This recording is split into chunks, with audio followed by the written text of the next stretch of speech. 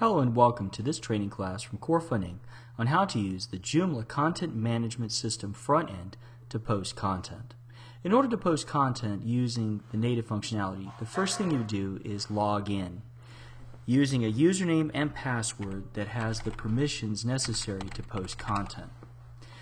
After logging in, what you will see somewhere on the site on a menu is going to be a link to the front end tool for submission of content via Joomla. So if I scroll down, I see the staff menu here, and then what I see is the link here to actually submit an article. When I click on submit an article, it then brings up the submit article window. So what we're going to look at is the steps I would go through to actually create a new entry for daily readings of the Orthodox Church. So what I could do is it, under the title, I can put daily readings, and then I can give it a, uh, let's say, February, okay, 15th, okay, 2010. Then what I would do now is I could come down here and I could give it some text. Uh, for example, daily readings, February 15th, 2010. I can make that text anything. But let's say I could make it say click here for the daily reading file. I could make it say anything I want.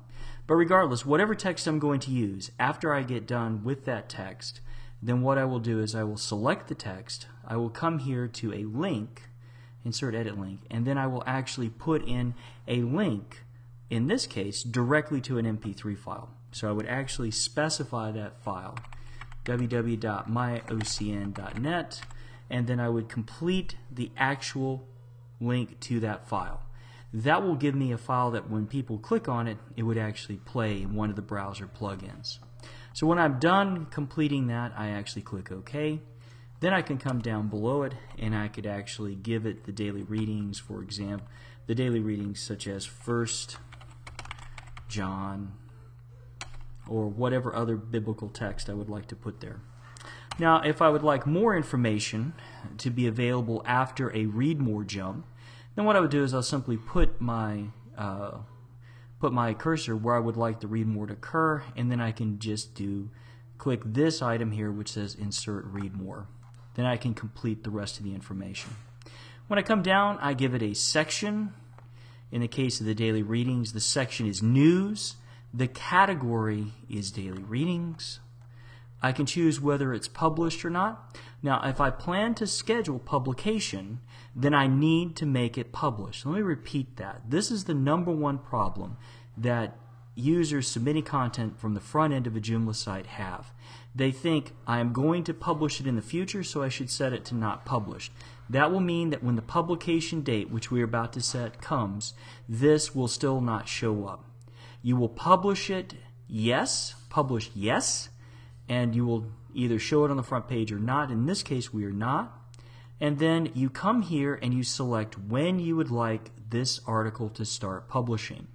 It will default to today's date. You can go ahead and select the calendar. Choose, let's say these are the daily readings for the 15th. So we want to have it 2010-02-15. And then what we can do is we can set it using 24 hour time. We'll go ahead and set it to begin publishing at midnight. Again, that is 24 hour time. So take the time and add 12 hours to it. So 0000 is exactly midnight.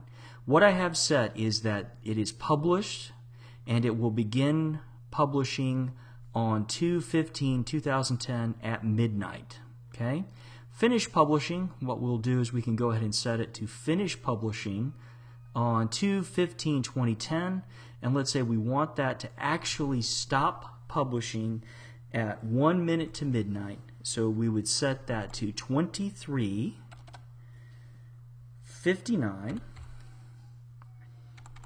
okay and 59 seconds. Okay, again, 24 hour time. So 2010 215 at 11:59 and 59 seconds, this will stop publishing. I can then give it any meta description and keywords that I would like to give it. And after I have given it that information, I can simply click Save. And it is going to update, take that information, and move back to the menu. And then I can just continue to do that for all of my articles that I'm going to save. This has been a training class on how to use the Joomla Content Management System to post a piece of content from the front end. Thank you very much.